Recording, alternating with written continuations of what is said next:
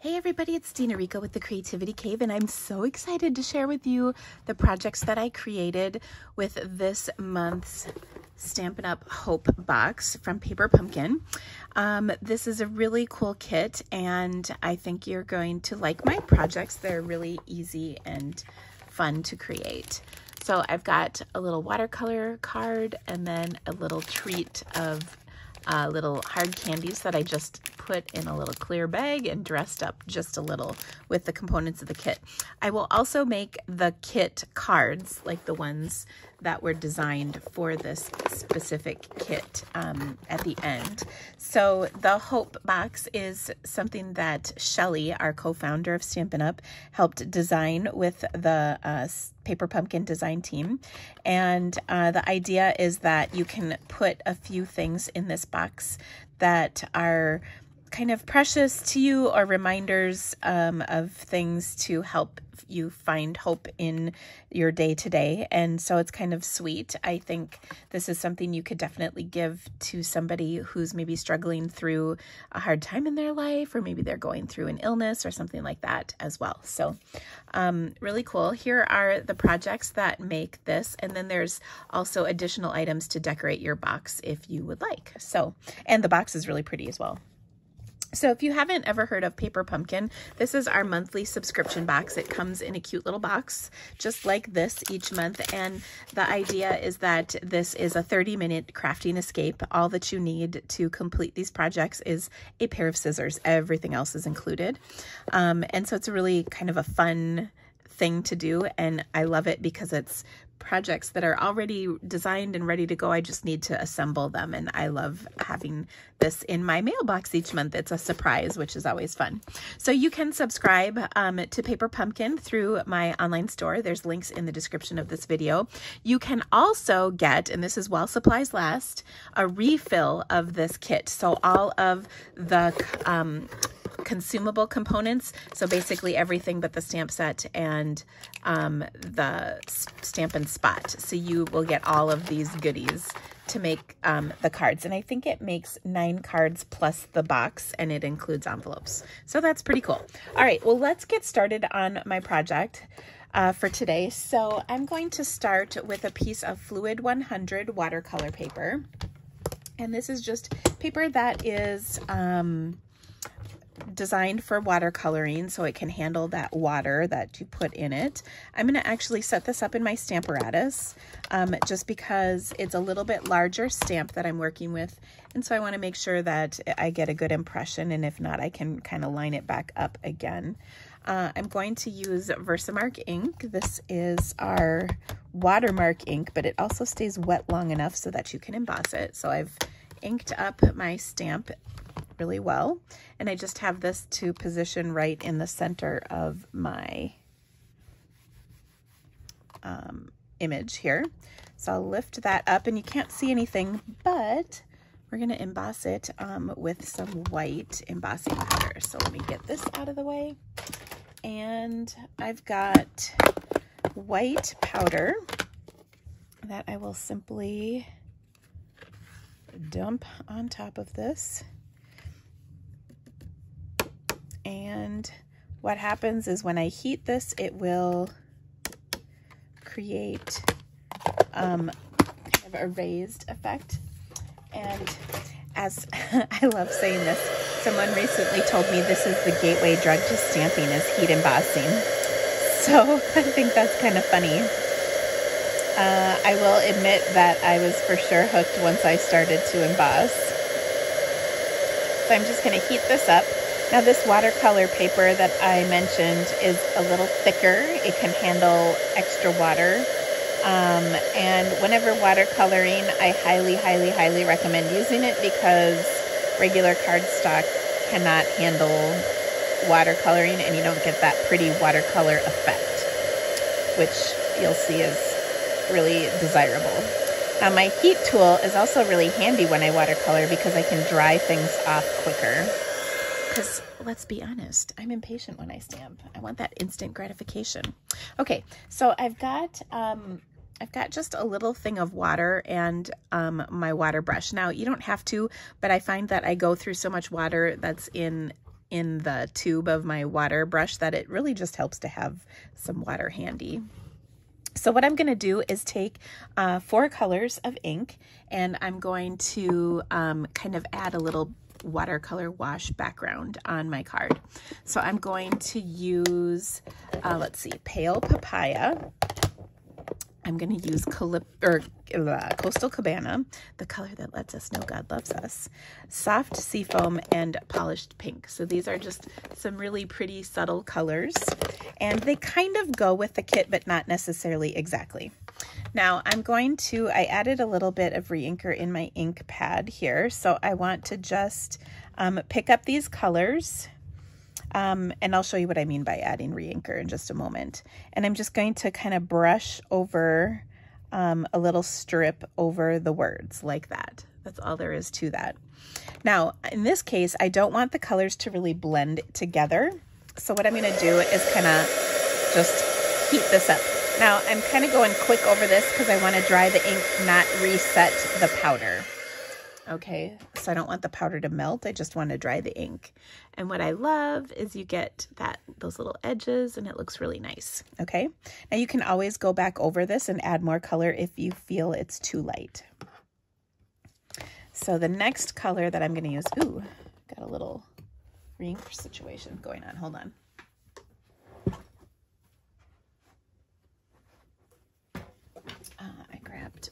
Use this tissue to clean that off. Okay, there we go. I think I, oh, when I tipped this over and showed you that it, it did come out. All right, next color is Coastal Cabana. And I'm going to just pick up some of the color in the lid and brush this across. Again, I like that um, I did this separately so that the colors don't mix and you can see they're staying pretty good apart. Here's what it looks like when they mix, but it doesn't always look like this. Sometimes it's just a muddy mess.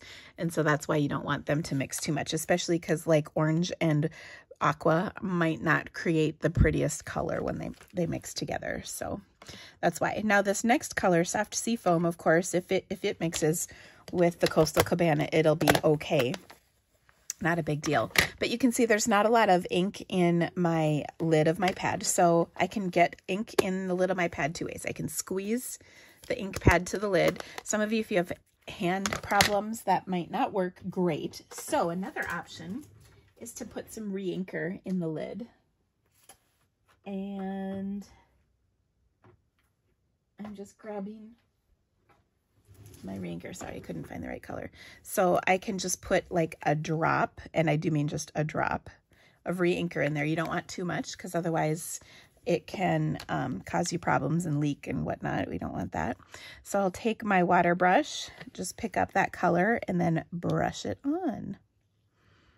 Okay, and what I love about this is it just adds a nice little wash of color across our card. Now, when I was doing this originally, I was like, "Ooh, we need we need a color to kind of pop this up." So then I chose polished pink. Okay, so again, we'll pick up some of that color on here and just brush it on. Oh, but I did not dry. And these are two colors that are probably not going to look very good together. Now, here's the beauty of watercoloring is if you do make a mistake like that where you don't like what's happening, you can fix it. And that's where the, the paper really makes a difference. I'm going to grab some polished pink reinker again. So I've got some more color in here and we're going to go over this. Now I dried it, so we should be pretty good. And we'll just go over and be a little bit more careful. I was kind of chit-chatting so I wasn't being super careful. And when you go over um, something you've watercolored, it should stay in the lines where it's dry, um, but I always have a tissue on standby so that if I need to kind of blot off um, any ink away from from here, I can do that pretty easily. And you can see it, there's a little bit of mixing, but not too bad. And I still think this looks really nice. Now, the other thing is sometimes you get a little bit of the color on the embossed words. after you've done everything. So I just touched a little teeny bit of water to this. And then I'm just going to kind of, you know, blot lightly. Now you want to have a clean spot for each color because you don't want to mix the colors because that won't look very nice. But you can just blot off and then your words are a little brighter white. Okay, so there we go. That looks great. Um, we're going to let that dry the rest of the way or what we can do is kind of help the process along. So I'll take my heat tool and just heat this. And again, we're going to kind of, we're just going over it quick because um, we don't want to remelt the powder. We just want to dry that water. And I love the little brush lines that kind of result in the, the inconsistencies. I think that's what makes watercolor look great. Okay, so now to finish this card off, it's really simple. I'm just going to take and fold my card base, which is crumb cake. I wanted a nice neutral color so that it, the colors on the card would be the focus. We'll give that a good crease with my bone folder. And then I'm going to turn this over and add some dimensionals. Um, I love popping up my cards with dimensionals because it just makes everything pretty. And then we'll do a little embellishing. One of the things I love about Paper Pumpkin kits is they always come with some fun embellishments, whether they're kind of die cut pieces or um, different designs and things. They're always uh, have fun things. So I'm going to take one of these little butterflies out of here and I'm just going to kind of bend it so there's a little bit of dimension. I'll take a glue dot. There actually are adhesive dots that come in the kit, but I had that kind of handy. So I'll just add that right there to my kit. And then the kit also comes with a sheet of these fun little adhesive backed sequins. So I'll just use my take your pick tool to plop a couple of these on, including one in the center of my butterfly because it's just pretty. And then I'll simply sprinkle a few of these around onto my card. And I kind of like odd numbers, so I've got one, two, three, four, and five. So there we go. That is so pretty and so easy. Now, the next project I had, I'm actually just going to show this to you.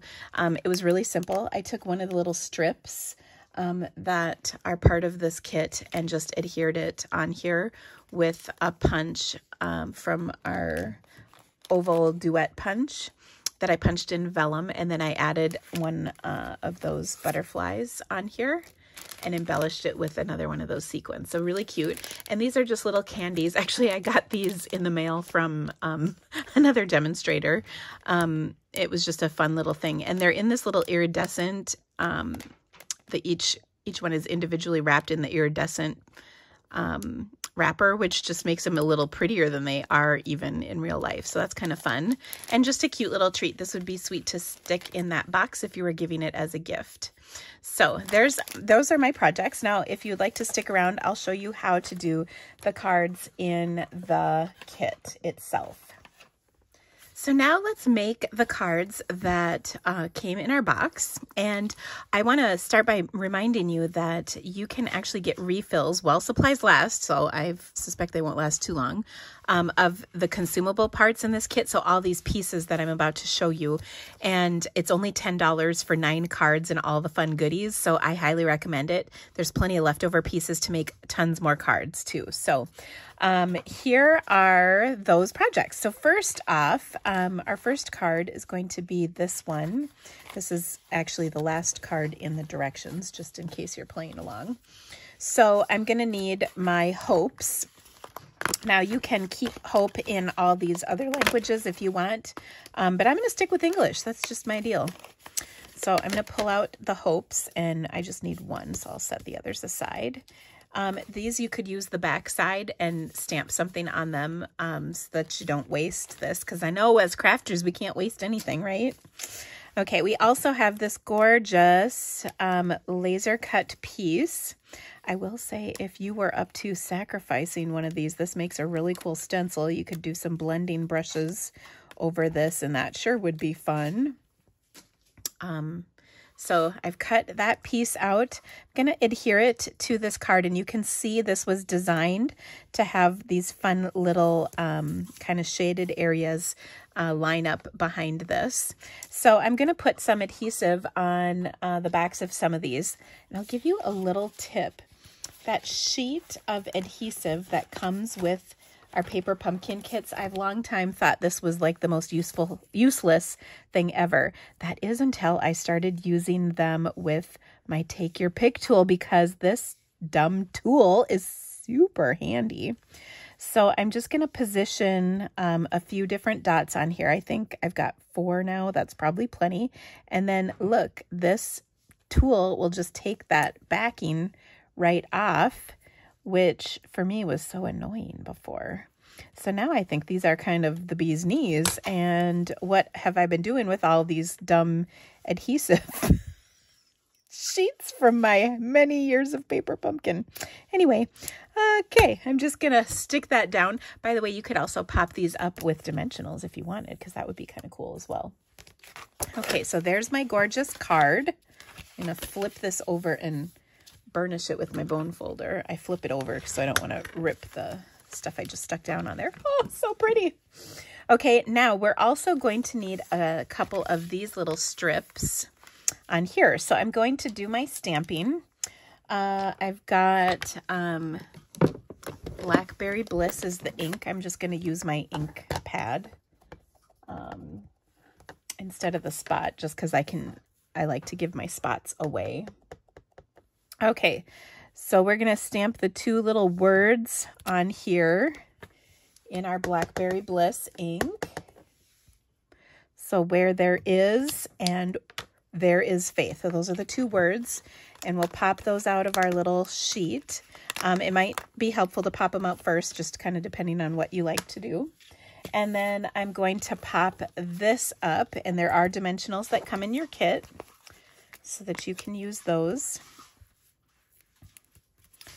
So we'll pop this up. And by the way, all of the instructions are in your paper pumpkin kit. So you can see all these details really handy, which is nice. Um, so the next thing, um, oh, and you know, the other thing I wanted to point out is there also is, uh, like a, what you need for each step. So the first card, you need these pieces, the second card, etc. And then these pictures show you how to actually put them together. Okay, so on this one, um, we're going to embellish this with our hope tag, our two little phrase phrases that we add, and then a little butterfly. So um, to do that, like I said, we're going to pop up the hope, and you can kind of position it on here wherever you want. I, it's like, oh, what do I cover up? Because it's so pretty. But I'm just going to add that right there. And then you can pop these pieces up as well, um, which I think I'm going to do because I like, I like this.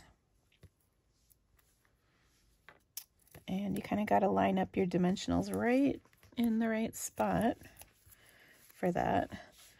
Okay, so I'm just going to add where there is hope. There is faith. So nice. And then we'll also add a couple of our sequins because, gosh, they make everything better. By the way, I just chucked the back into that dimensional and it so did not go in the garbage. Okay, um, then we need a little butterfly.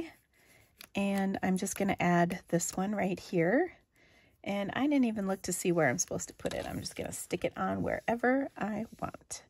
So we'll put that little dot, get rid of the little backing.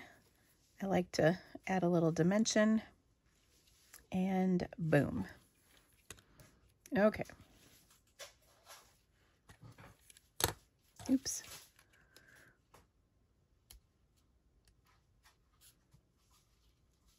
There we go so cute. Isn't that a beautiful card? Oh my gosh. This would so brighten someone's day.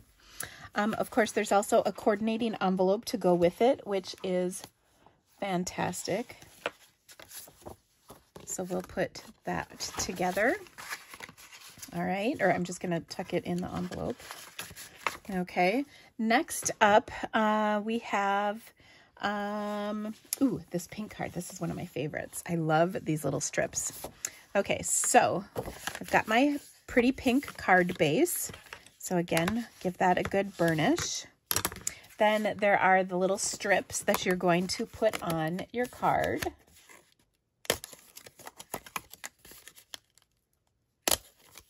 Um, and we also need a white piece. I did not have that pulled out yet. That should be in here. Okay. And we're actually going to pop these up onto um, our sheet here. And you can kind of do this however you want. So maybe you um, pop a couple up. They're going to overlap a little bit. But oh, doesn't that just make you happy? Like, look at how fun that is. So I really like this. And I, this was one of the strips that I used to um, decorate my little treat bag. Okay. So I'm going to actually just stick that over the edge just slightly. And then we'll add this one. And I'm going to tuck this under. When you put adhesive kind of in the center of your strip, you have a little wiggle room for tucking things, which is kind of nice. Um, then I'm going to do this one next.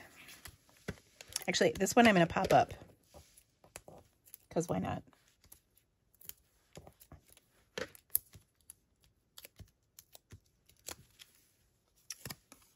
And we'll stick that one on right there like that. And then we'll put our last one on and just adhere it like so. And I'll have it stick off the edge just a little bit like I did the other. Okay, we'll take this whole thing and adhere it to our card. And then we need to stamp our sentiment. Oh, this is so happy. Um, for our sentiment, we're going to stamp on one of these circles and um, we'll add that in. Blackberry Bliss ink. Just a note of hope. Oh, so nice. Okay, so what I'm going to do is pop off, pop up that side and then just kind of adhere it on this side so that it sticks down like that. And then we'll add a couple of our butterflies. I'm just going to maybe put two on mine. Well, actually, it calls for three. We'll put three on. Why not? Okay, once again, I'll flip the three butterflies over and add my little dots because gosh darn it, these things are not so bad.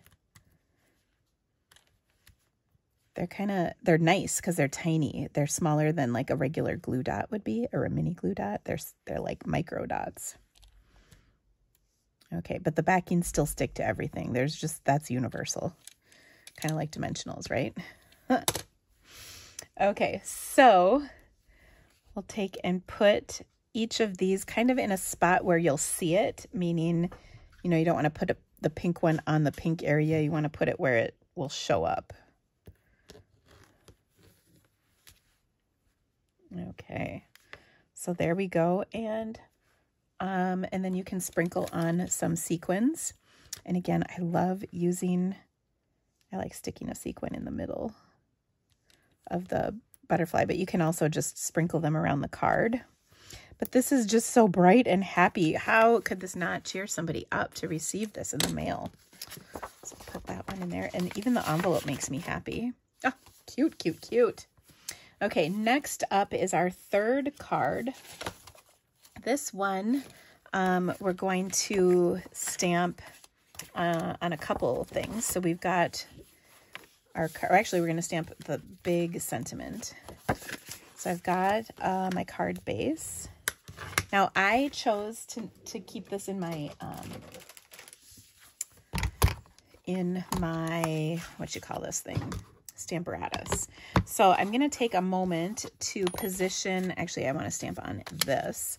I want to position this so it'll be centered on here and that looks pretty good. Um, I could maybe move it, scooch it down just a little. I like that. So I'm going to kind of stick it in place with my magnets like that. And then this time we're going to ink this up with some Blackberry Bliss ink. And just one last check. And I'm going to move this over ever so slightly. So it's centered. Ooh, that looks good. And then I got to get my hockey puck. if you're watching this and saying that is not a hockey puck, Dena, I know it's not. But that's what I call it. It's an air hockey handle. And it's got the felt, so it just goes smoothly over this to make sure I get nice even coverage. And look at that. It's amazing. Okay, so let me pull that off. And we've got this done. Now, um, they have given us these hope and tomorrow words in um, highlighted in a different color. So once again, you can just pop these off and then use the back side if you would like um, of the other languages. I'm just popping out the English ones and then I'll I can use the rest uh, for the backside. So um, I'm going to take hope and pop this up right over the top of the word hope. And likewise, tomorrow will pop up right over the word tomorrow. And I love adding this. And then also, um, I think when I use this in the future, I can kind of take that idea and stamp this and then just trim out, you know, like stamp this in, in colored cardstock and then trim them out so I can highlight some of those words because that's kind of fun to do with this. Okay, so that looks good. We're going to add it to our card base, which we folded already. And finally, and by the way, you can use your little dots to adhere these layers. I just, out of force of habit, am using my seal. Um, and then we're going to take and embellish with a couple of these little butterflies because they're just so cute. And some gems. Okay, so I'll take and add a couple of these on because gosh these dots are super handy get rid of the backing come on go off fly away stick to someone else's bra okay so I've got one down there and one up there and then we'll sprinkle some more of our sequins on. Now these are just super fun.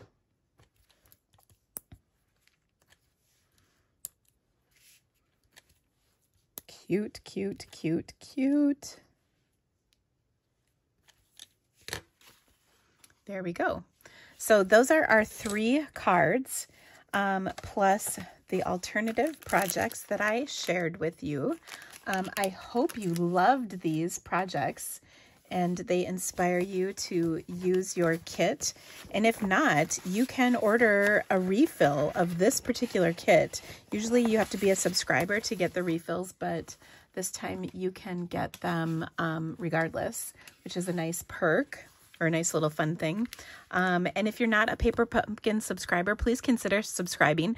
Right now is the best time to get a subscription because you can get um, all kinds of celebration benefits if you get a three, six, or 12 month uh, prepaid subscription. Those will come with fabulous celebration perks. If you have any questions about this, um, these projects, or anything else, please just drop me a comment in this video.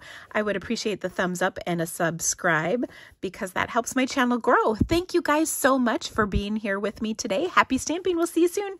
Bye bye.